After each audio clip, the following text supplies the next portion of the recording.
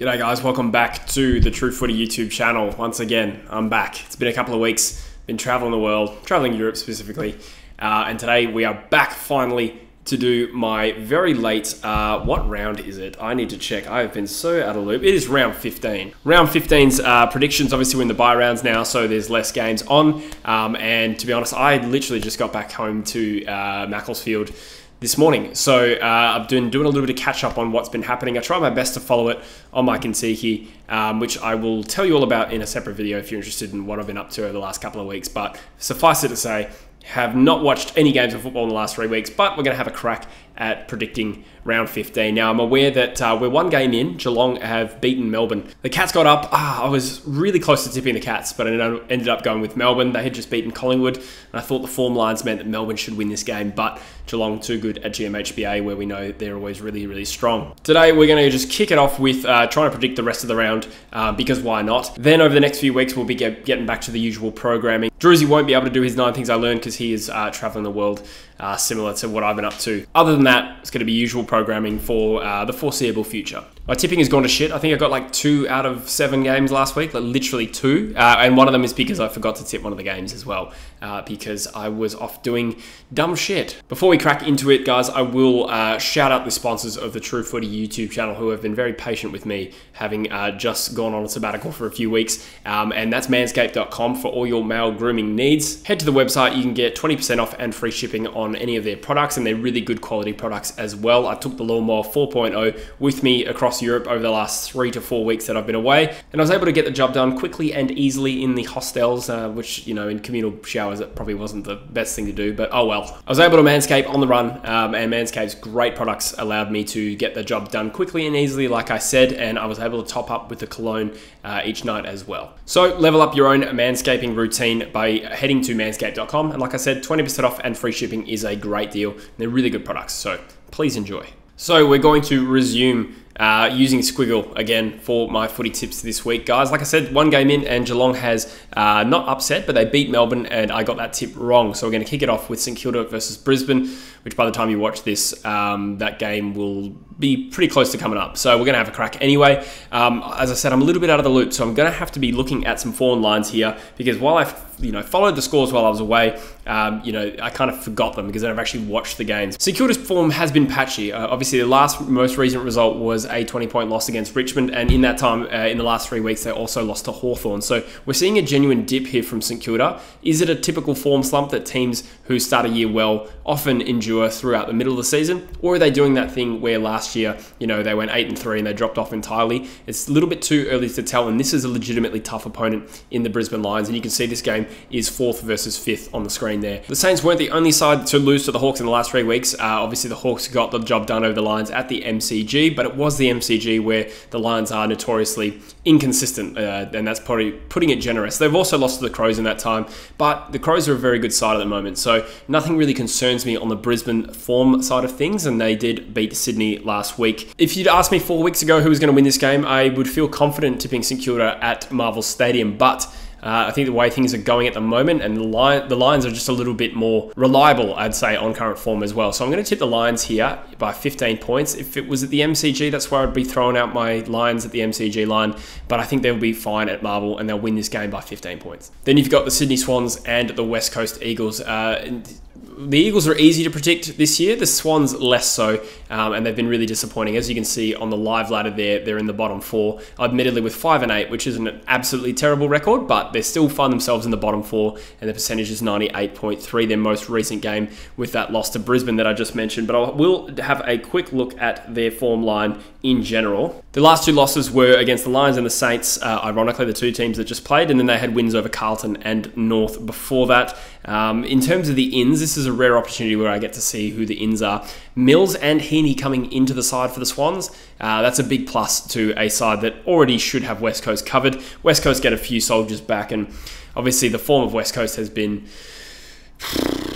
it's been patchy. Um, obviously, uh, the 122 point loss against the Crows is uh, I followed that on the bus um, you know, traveling from bloody like Switzerland to Italy or something like that. To be honest, the recipe for that result was always there. You know, we we're the worst team in the competition. The Crows have the best forward line in the competition, and our defense, which had previously not been too hit by injury, was completely depleted. So all the recipes there were for a horrible result, and that's exactly what we got. So you know, after a bye, I've got this weird optimism again that not that we're going to win this game, but I feel like hopefully now, hopefully, and I'm sick of saying this, those you know 100 point losses are behind us. So I think, you know, there's no doubt that Sydney's going to win this game when you factor in the Eagles haven't beaten Sydney there since like 1999. There's absolutely no doubt Sydney's going to win this game. But I am confident that we will get within seven goals. I'm going to tip Sydney by 42 points. But even as I'm saying that, I realise I just seem so deluded. Then you got the Dockers and Essendon at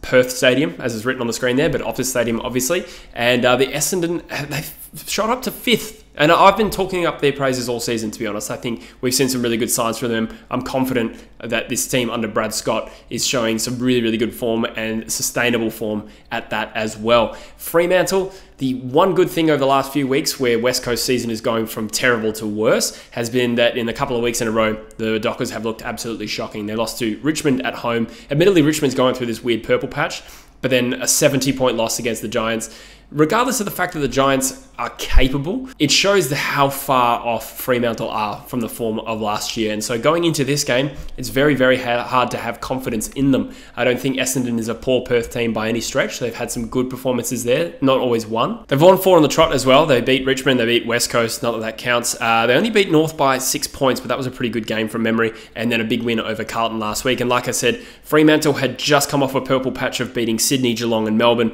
but the last two weeks have been really alarming in how far they've dropped off. On the positive note for Fremantle, Sean Darcy is back for this game. We know how uh, much of a pivotal player he is, but on the Essendon side of things, Parish is into the side as well. So I'm going to have to go with my gut here. I think Essendon is going to win this game. I think they are the better side, and Fremantle, as you can see, are ranked 14th currently, or 13th because Sydney's gone up in this prediction. Um, so I'm going to tip the better side here. Of course, Fremantle could win this game in front of a home crowd. I think they're always a chance, uh, but Essendon is my tip here, and they'll win this game by 24 points. Then we've got Collingwood and Adelaide at the MCG, which should hopefully be an intriguing matchup. Uh, Collingwood, uh, I think, had their second loss of the season against the D's. I think it was last week. So they've shown that they are not completely invulnerable. You know, they are they're the best team in the competition, in my view, and probably most people's view. But at the same time, a loss was always going to come, and it came against the side that I have been saying I think is the second best team to come in Melbourne. So no real concerns there from a Collingwood point of view. In Adelaide, uh, you know, they they keep taking steps this year and keep showing more and more evidence that they've evolved into a genuine finals quality side. And none more so than their 122 point win over West Coast, which again, you know, West Coast are a write off this year and it's hard to take too much from that. But what we did see is a side that has the tools to really put another team to the sword uh, when they're winning the midfield battle, which they absolutely did. That being said, at the MCG, Adelaide are a young side. They've been a little bit, you know, less consistent away from home than they are at home, which you'd expect. They're not quite the finished article yet, and that's why I don't really have much faith in them knocking off Collingwood at the G. It would take a pretty uh, lackluster Collingwood performance, I think, to lose this game. And that is no disrespect to Adelaide because I think they were absolutely a finals quality side. But I don't think they have it in them to beat Collingwood this week. And I will say Collingwood win this by a healthy 28 points. And the final game of the round is an intriguing one, I think, between the currently 13th placed uh, Gold Coast Suns and Hawthorn, who sit in third last, and this is at uh, Metricon, which is now called Heritage Bank Stadium, which I only realised a few weeks ago. You know, four to six weeks ago, I would have said Gold Coast uh, comfortably had Hawthorn on quality, but I think that is no longer obviously the case when you consider Hawthorn have won three of their last four games, while one of them was against uh, West Coast, which is one of the worst teams like we've ever seen. Uh, they've also beaten St Kilda in that time, and then most recently beat the Brisbane Lions at the G, uh, and also got slapped by Port Adelaide, who were you know currently first on the ladder uh, before this video. Equally, though, I think we've seen a, a, good improvement from Gold Coast around the same time frame, who have won uh, three of their last five. Again, one of them is against West Coast, so you just kind of strike that out. But they beat the Crows by 25 points, which is uh, which is a big win, to be honest, with considering how good the Crows are, and then a seven point win over the Dogs as well. So we're seeing two capable sides here. In my head, actually going into this, I had this memory that Gold Coast have a knack for beating Hawthorn, but if you click onto the head-to-head here, it's kind of a mixed bag in terms of getting form lines. So Hawthorn beat them last year in Tasmania,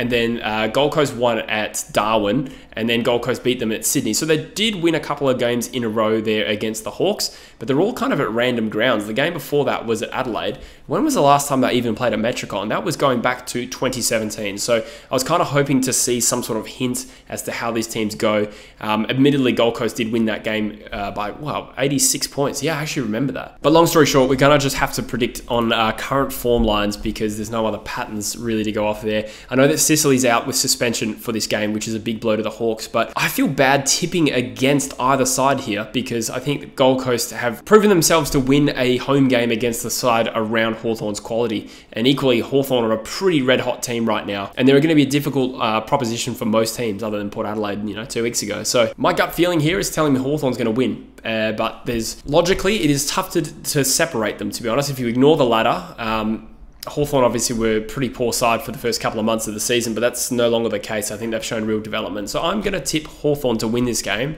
by 19 points. So there you have it, guys. That is uh, my round 15 predictions. Again, sorry it's late. Uh, again, I was kind of all dictated by my travel lately. Like I said, I'll fill you in on that if you're interested in another video on this channel. Um, but we look at the ladder now, and uh, again, it's, it's hard to really read too much into that because we are in the middle of the bye rounds, so teams have played uneven amounts of games. But it is interesting to note Carlton in the bottom four there, and Fremantle just above them, which is just fantastic. But the one to note there as well is Essendon up there in fifth with nine and five. Um, that's a fantastic effort. So this this potential win against Fremantle here could be crucial to setting up their season. As always, guys, I appreciate you watching. Thanks for coming back, even though I just took a few weeks off. Uh, like I said, the programming will be back to its usual uh, consistency and you know the variety of topics that we'll cover. Um, it's back. So thank you for your patience. Thank you for watching this video. If you could just give it a like, help me in the algorithm because sometimes YouTube doesn't like it when you take a couple of weeks off. Um, so anything you can do for me there, um, and do check out the sponsors Manscaped because they have been very patient with me um, and they are good products. So if you're interested at all, um, it is a good deal and they, they are quality. But that'll do for now, guys. Stay tuned for another video uh, soon where I talk about my trip, and then uh, then we'll go from there. Maybe I'll do a video ranting about how the Eagles lost by 200 points against Sydney. We'll see. Stay tuned for that. But that's it for now, guys. Thanks for watching, and I'll see you in the next video. Cheers.